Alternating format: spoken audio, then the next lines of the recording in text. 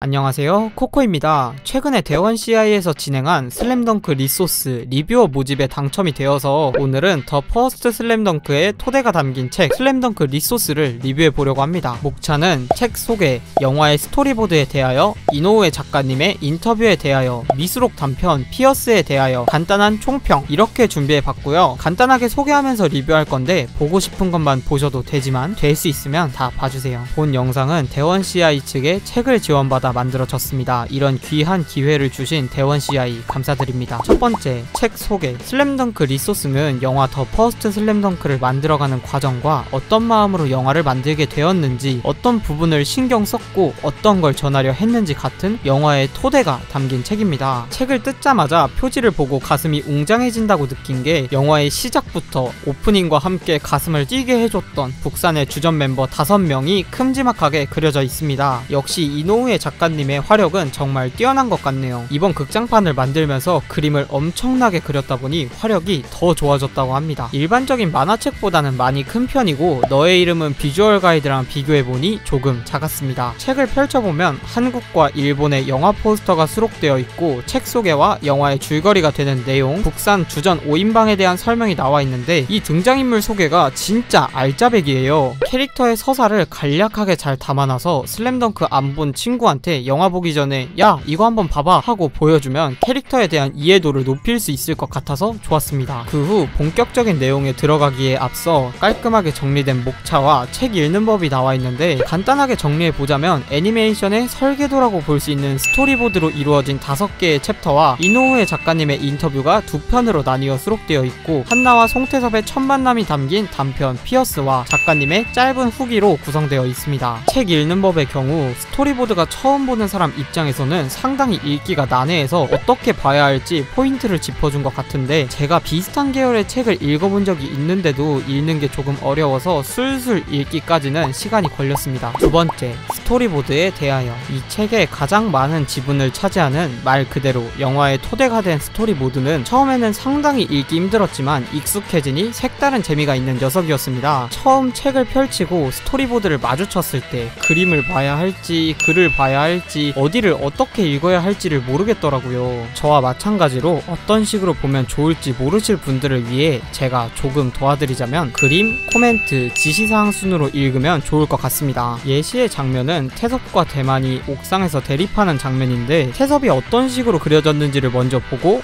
코멘트의 설명을 보고 마지막으로 그림 옆에 지시사항의 각주를 읽는 식입니다. 코멘트 중에서는 director voice라는 이노우에 작가님의 코멘트가 있는데 작품에 대한 작가의 연출 의도를 설명해주니 더욱더 작품을 풍성하고 재밌게 볼 수 있습니다. 챕터 0을 펼쳐보시면 이런 식으로 그림과 글이 잔뜩 있는 아이디어 스케치가 나오는데 영화와 같은 부분도 있지만 영화에서 나오지 않은 아이디어도 꽤 담겨있기 때문에 재밌습니다. 대표적으로 준섭이 사고로 죽고 할머니가 태섭과 아라에게 준섭이는 헤엄을 잘 치니까 다른 섬에 헤엄쳐 갔을지도 모른다 라고 말하는 장면이 아이디어 단계에서 존재했는데 이 아이디어는 이후 영화에서 아라의 대사로 활용되게 됩니다. 영화를 볼 땐 그냥 어린애다운 순진하고 당돌한 모습인 줄 알았는데 사실은 이런 뒷내용이 있었던 거죠. 이 외에도 준섭과 태섭의 1대1 관련 아이디어나 태섭의 할머니에 대한 내용이 담겨 있습니다. 챕터 1부터 챕터 4까지는 본격적으로 영화의 스토리보드나 그림 콘티, 장면 해설이 들어가 있습니다. 영화에서 좀 더 만화다운 역동감이나 박력이 잘 느껴지도록 자세를 수정한다든지 인물들의 감정 표현을 위해 표정이나 자세를 디테일하게 수정하는 세심함이 돋보입니다. 보입니다. 이 장면은 신현철과 최치수의 기싸움 장면인데 흐릿해서 잘 안 보이시겠지만 잘 보시면 원본 3D CG가 보이는데요. 원래는 그냥 정면을 응시하고 있었지만 수정 뒤엔 서로를 내려다보는 느낌으로 기싸움을 하는 주장의 모습이 연출되었습니다. 이 장면의 경우엔 서태웅의 어깨 각도를 조금 틀어서 공을 몸쪽으로 좀 더 빼는 공을 뺏기지 않으려 하는 느낌과 역동적임을 준 것 같은데 진짜 디테일이 대단하지 않나요? 3D CG 자세 수정뿐만 아니라 이런 식으로 머리에 하이라이트 추가, 귀 형태 변경, 앞머리 변경, 턱선 변경 같은 동화의 디테일을 더해준 부분도 있는데 애니메이션에서 몇 초 나오는 장면에 이런 디테일을 추가했다는 게 어마어마합니다. 이 외에도 정우성의 더블 클러치 동작을 자세하게 묘사해서 디테일을 끌어올리거나 태섭의 어머니가 경기를 보러 들어가는 장면을 수정해서 망설이는 듯한 느낌을 주는 등 구석구석에 세세한 디테일과 노력이 들어가 있는 걸 보는 재미가 있습니다. 세 번째, 이노우에 작가님의 인터뷰에 대하여 작가님이 더 퍼스트 슬램덩크를 만들게 만들게 된 계기와 어떤 내용을 만들고 싶었는지 만들며 힘들었던 부분 등등 무려 14페이지에 달하는 long 인터뷰를 통해 이노우에 다케이코 작가님의 생각을 들을 수 있어서 너무너무 좋았습니다. 인터뷰의 시작은 영화를 만들게 된 계기인데 보면서 깜짝 놀랐던 게 작가님이 슬램덩크의 결말에 대해 독자들에게 미안함을 가지고 있다는 점이었습니다. 인터뷰에서 작가님은 슬램덩크를 끝낸 것은 자신의 의지였지만 독자들에겐 당황스러웠을지도 모른다. 독자들은 예고도 없이 마지막 화를 마주하게 되었고 자신은 다음이 읽고 싶다. 혹은 더 그릴 수 있잖아. 라고 하는 독자들에게 책임을 다하지 못했을지도 모른다고 말씀하시면서 독자에 대한 감사와 상처를 준 것에 대해 미안함을 이야기합니다. 확실히 슬램덩크의 결말은 다들 아시다시피 하지만 이 사진이 점점점과 천재니까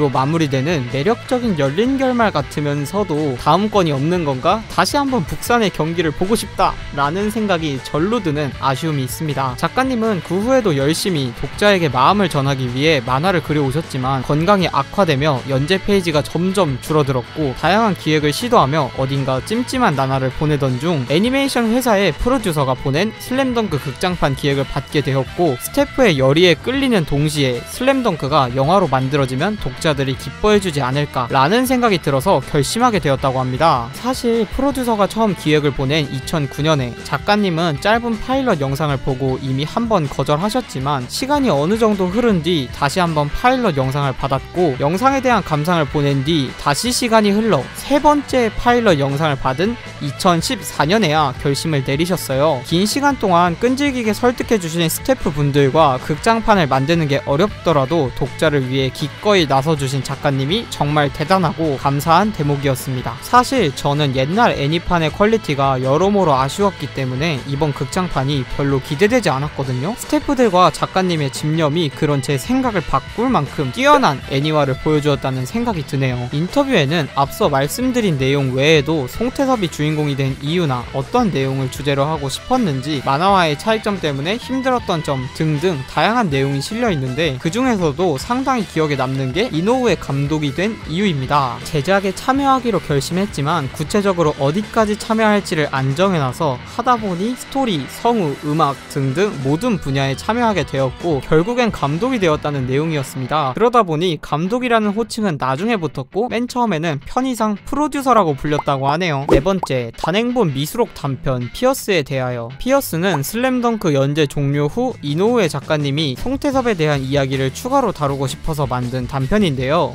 연재가 종료되고 약 2년 후에 공개된 단편이라 단행본에는 수록되어 있지 않아서 아마 많은 분이 못 보셨을 것 같습니다. 단편의 내용은 태섭과 한나의 첫 만남을 다룬 스토리에 송태섭이 피어싱을 하고 있는 이유와 이번 영화의 토대가 되는 내용이 수록되어 있는데요. 본편의 parallel world 같은 느낌으로 만들어진 단편이기 때문에 영화와 다른 부분도 있었습니다. 이미 완결난 슬램덩크를 조금이라도 더 볼 수 있다는 게 참 좋았고 이 단편 하나밖에 없다는 사실과 농구 관련 내용이 나오지 않는다는 게 아쉽다면 아쉬운 부분이었네요. 하지만 영화에서도 넘버원 가드나 뚫어 송태섭 같은 좋은 장면, 좋은 케미를 보여준 두 사람의 첫 만남이 매력적으로 잘 다뤄져 있기도 하고 원작에선 사고뭉치 악동 이미지인 송태섭의 슬픈 과거사가 다뤄져서 송태섭이란 캐릭터를 더 풍부하게 해주는 게 좋았습니다. 개인적으로 정말 좋았던 장면이 태섭이 준섭을 그리워하며 눈물을 흘리는 장면이었는데요. 영화에서처럼 낚시를 가던 준섭은 데려가 달라는 태섭에게 6학년이 되면 데려가 준다고 말하고 태섭은 홧김에 다신 돌아오지 말라고 말해버립니다. 그 후 진짜로 준섭이 사고를 당해 돌아오지 못하게 되면서 다시 한번 형을 만나 사과하고 싶어 하는 장면인데 자신이 벌써 6학년이 되었다고 말하며 눈물을 흘리는 태섭의 모습이 정말 마음이 아팠습니다. 다섯 번째, 간단한 총평. 원화와 연출 의도 등을 보는 게 굉장히 즐거웠고 이노우에 작가님과 스태프들이 얼마나 노력해서 이번 극장판이 만들어졌는지 책을 보면 뼈 저리게 느껴져서 좋았습니다. 극장판에서 너무 빠르게 지나가서 제대로 즐기지 못한 섬세한 표정 묘사를 책으로 즐길 수 있어서 좋았고 이노우에 다케히코 작가님의 열정을 인터뷰를 통해 간접적으로 느낄 수 있는 부분도 좋았네요. 좀 애매하지 않나 싶게 제본되어서 보기 불편한 페이지도 있긴 했지만 그 정도 단점을 가리고도 남을 만큼 좋은 책이었습니다. 슬램덩크 극장판을 재밌게 보신 분들은 꼭 보시면 좋겠고 슬램덩크 원작의 팬분들도 작가님의 인터뷰나 단편 피어스 같은 볼 볼거리가 가득한 책이니 한번 읽어보시면 좋을 것 같습니다. 오늘 영상은 여기까지입니다. 정말 좋은 기회 주신 대원 CI 감사드리고요. 항상 응원해주시는 구독자 여러분도 감사드립니다. 저는 앞으로도 최선을 다해 재밌는 만화를 소개할 수 있도록 노력하겠습니다. 다음 영상으로 찾아뵙겠습니다. 안녕.